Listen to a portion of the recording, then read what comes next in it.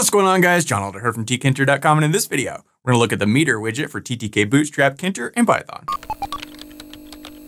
All right guys, like I said, in this video, we're gonna look at the meter widget. But before we get started, if you like this video, want to see more like it, be sure to smash the like button below, subscribe to the channel, give me a thumbs up for the YouTube algorithm, and be sure to grab your totally free PDF version of my Tkinter widget quick reference guide book. This thing is awesome, has over 150 pages with all the Tkinter widget attributes. To grab your free copy, just head over to tkinter.com forward slash widget dash book, enter your email address, and I'll send that right out to you. And while you're there, think about membership in tkinter.com. You can grab all my Tkinter courses for one low price. Use coupon code YouTube to get 30% off membership if you're interested. All right, like I said, in this video, we're gonna look at the meter widget in TTK Bootstrap. This thing is awesome and very customizable. We could do all kinds of stuff with this. You can see I've got it going up to 120%. You could change that to whatever you want.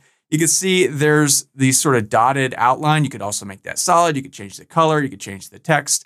You can increment it by any amount. Here I've got 5%.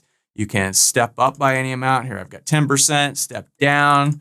You can do it by buttons. You could do it by dragging and dropping, and that's what we're gonna look at in this video. So let's head over to our code. I'm using the Sublime Text Editor and the Git Bash terminal as always. And as always, you can find a link to the code in the pinned comment section below, as well as a link to the playlist with all the other TTK Bootstrap videos in the series. So check that out if you haven't so far. All right, so I've got a file. I'm just calling it meter.py. And it's our basic TTK Bootstrap starter code that we always have. And you can see we're using the superhero theme. We've imported TTK Bootstrap as TB and uh, the rest is just basic stuff. So, all right, let's go ahead and create a meter. So I'm gonna call this my underscore meter. And this is a tb.meter widget.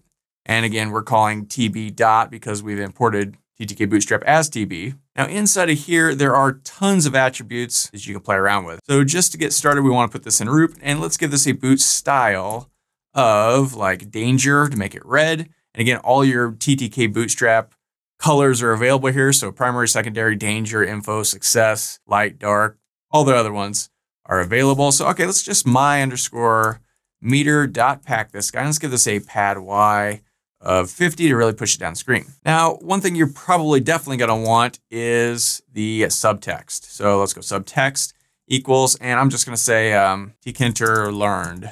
This is a meter on how much tkinter we have learned. So let's go ahead and save this and just see what we have right out of the box here. So let's head over to our terminal in my ctkinter.com directory and let's run python meter.py. And when we do, we get this empty zero, this empty circle with a zero in it, says tkinter learned. So, okay, if I click on this, nothing actually happens. So we don't have much going on here. If I click on this, nothing happens. So first, let's play around with being able to click on this and drag and drop. You have to specifically set that up. So let's come here and I'm just gonna put all these things on separate lines so they're easier to read. And to do that, we type in interactive. So do we wanna make it interactive? Yes, we do, right? So let me just do this because we're going to do a lot of these. So let's save this and run this and see what we have here. So now when I click on this, I can drag it and drop it. And you can see by default, it goes up to 100. And that's very cool. So if I leave it off, it just, you know, stays where it is. So, all right, that's interesting. What if we want something next to the number? So 75, maybe we want to make this 75%, or maybe on the left side, we want to put a dollar sign. Uh, what do we do to change the basically the label inside the main label? Well, we could do that. We can just change the text right to anything we want. So if I wanted a percentage, we could do that. We could also do text left, you know, uh, if we wanted a dollar sign, we could do that. So if we save this and run it, you can see in tiny little text, we get this dollar sign and percentage sign. And you could play around, around with the font size We'll look at that in maybe a minute. But I'm going to take off that dollar sign because that's silly.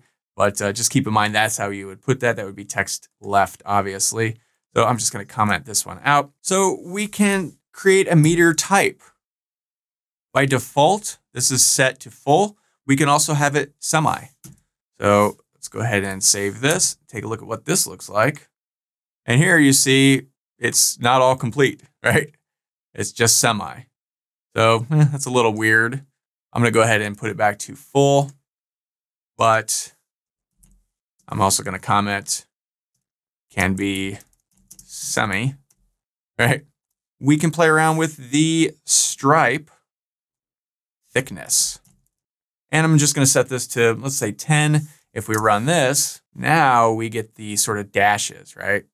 So that's cool. I really like the look of that. And again, you can change this to any number you want. You know, we could do, I don't know, 50 to make it really, well, let's just say really big. So one, two, three, four, five, right?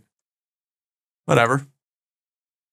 Maybe you want uh, just five, make it real skinny. Right, so you get these like almost tick marks. That's cool. Personally, I like 10, but uh, anything you want, you can do that. We can change the meter size. So let's send this to 200. If we save this, well, let's change it to 400, make it really big. You can see, whoa, we've got a really big meter size now, right? So that's cool. Likewise, you can make it smaller by just, you know, making it smaller. So I'm going to put this at uh, 200 or so. Save this, run it. Go. Very nice. And just that easy. We can give this thing some padding, right? So let's go padding equals, and let's just blow it out. Let's say 50. Can't really tell the difference. Maybe it's padding on the outside. Probably. So leave that at 50. We can set the amount used. So let's say we'll set it to 20. This is sort of like the default what it is when it starts right up. All right, so by default, boom, it's just already at 20, right? So that's interesting. We can also change the amount total. And let's say I put it at 150. So before we had it at 100, 100%. Now it's 150 is as high as it'll go. So, so if we run this, you can See, it's still at 20 by default. If I drag it all the way up, 130, 140, all the way up to the top is 150, right? Personally, I would always keep it at 100 because, you know, you're usually doing like 100%. A lot of times when you're using a meter of some sort, it's a percentage. But if you need it for any other thing, that's how you do that. And uh, very cool. Now, there are lots of other things you can play around with this. Very quickly, let's head over here to the documentation. We could go ttkbootstrap.readthedocs.io if you click on the style guide, it's not that useful. Come down here to meter. It just shows you basically the basic functionality. Uh, so I should mention you could also change the subtext color, and that's just with subtext style. So let's just come down here, give it a sub subtext style of, let's say, I don't know, success, something like that. Save this, run it. And now the subtext is that green success color. That is hideous, right? So uh, let's just give this, um, I don't know, let's call it dark. Or, eh, let's say light. I think that's maybe by default with this theme. Yeah. So by default, that's light colored. Very cool. So, like I said, there's not much stuff right here, but if you want the information on this, you can go to the API section up here and then come down here in the widgets module, click on meter, and then here we get the API documentation, which is much more complete. So these are all the things you could play with. So arc range, you could do amount total, we did that, amount used, widget size, meter size, boot style, we did that, meter type, full or semi, we did that, meter thickness, we did that, show text, interactive, we looked at that, stripe thickness, we looked at that, text left, text right, text font, if you want to change the font size for the text in the center, you could use that. Subtext, we use that. Subtext style, we just did that. Subtext font, again, you could change the size of that if you want. So dash size 10. And then we have step size. We'll take a look at that in just a second. So pretty straightforward. That's how to make it look certain ways. Now, how do we actually use this? So let's say I drag this around and I end on 78. I need to know that it's at 78 programmatically. How do I do that? How do I know what it's at? Further, how can I change it by like maybe clicking on a button to increment it a certain amount? How can we do that? Well, let's take a look at that now real quick. Super easy. And let's come down here and let's create some buttons. So I'm gonna call my underscore button, and this is gonna be a tb dot button. We wanna put it in root. We want the text to say, click me, and let's say five, right? So we wanna click it and move the thing five. So let's give this a command of clicker, I don't know. And that's my underscore button dot pack this guy, give it a pad Y of 20, push it down screen a little bit.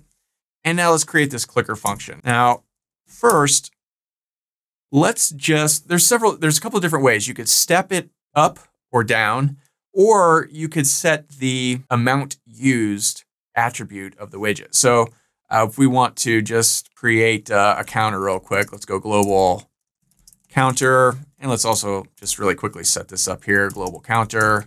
And let's set the counter equal to five or something to start out with.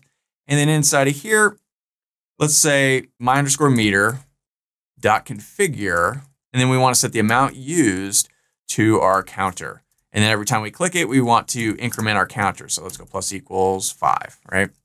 Now, if we want to keep track of that, let's keep track on the button. So let's my underscore button dot configure, and let's set the text equal to, and let's create an F string, and let's say click me. And then inside of here, let's pass my underscore meter. So to see what the meter is actually set on at any given time, you can call the amount used var.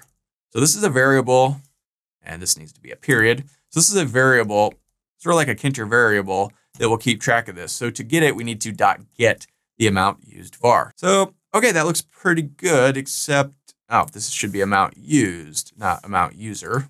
I? All right, so let's go ahead and save this and run it, see how this looks. Okay, so we started at 20. We want to click me 5. Boom, it goes to 5%. Now, it does not go to 25 because we just didn't program it to do that. We could easily have set the counter at 20 to start with and then incremented at 5, but we didn't do that. Anyway, you get the idea. 5, 10, 15, 20, 25, 30, 35, 40, 45, 50, all the way up. Now, if we hit 100 and keep going, this will just keep going. So it keeps spinning, right? So we can programmatically fix that if we want. And also let's set our counter at 20, just because. And then to fix that, we would just come into our thing here and let's just say what? Let's go if counter is less than or equal to 100, then do all this stuff. And I'm just going to tab it all over. All right, that looks good. So let's save this and run it. We start at 20, boom, it goes to 25, 30, all the way up to 95, 100. We keep clicking at 100, it doesn't go past 100. So that's one way you can do that. So that's how to sort of increment it manually if you just want to set the amount used. And you could do that. There's nothing wrong with that. There's sometimes you probably would want to do that, but there are even better ways to do that. We can step. So let's grab this and let's copy and paste a couple more buttons in here. And I'm going to call this my button two and my button three. So then here as our text, instead of click me five, let's say step up. And here, instead of click me five, let's say step down. And let's give this a command of up, and let's give this one a command of down. So, all right, let's go up and create these two functions. So let's define up, and let's define down. So here we can step up in any amount. So let's just go my underscore meter dot step. And then inside of here, we pass however many places we want to step. So if we want to step 10, we could just do it like that. Same thing with down. It's the exact same process. Instead of 10 though, it's, let's say we want it to go negative 10, right? Just that easy and uh, kind of all there is to it. Now let's make this a little bit bigger so these all fit. 570, let's come back over here and let's see, let's run this guy. Now one weird thing about the steps, that still didn't quite fit. Uh, we started at 20. If we step up from here, it'll go backwards. So now it goes 10, 5, it's zero. Now it'll go forward again uh, in, in steps. So just sort of keep that in mind. So if we run this again and we want to step down, again, it goes the opposite direction. So if we start, actually, let's just start at zero here just to make this easier to follow. So amount used, let's put this at zero.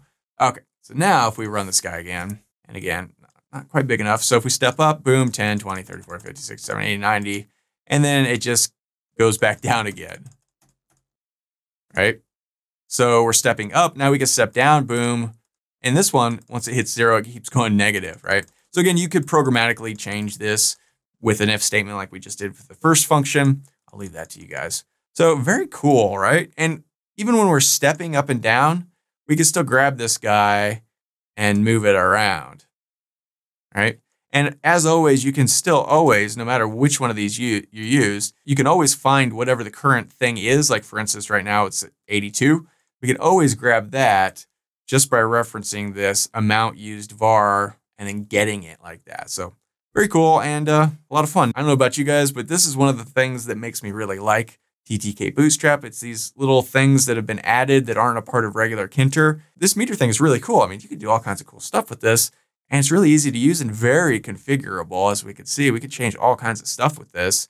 And it's pretty easy to use. So that's all for this video. If you liked be sure to smash the like button below, subscribe to the channel, give me a thumbs up for the YouTube algorithm, and be sure to grab your totally free PDF version of my Tkinter Widget Quick Reference Guide book. I think it's awesome, over 150 pages with all the Tkinter and TTK widget attributes. Grab your free copy today. Just head over to tkinter.com forward slash widget dash book, enter your email address, and I'll send that right out to you. And while you're there, think about membership in tkinter.com. You get all my Tkinter courses, all my future courses for one low price. Check it out today. Use coupon code YouTube to get 30% off membership if you're interested. My name is John Elder from tkinter.com, and I'll see you in the next video.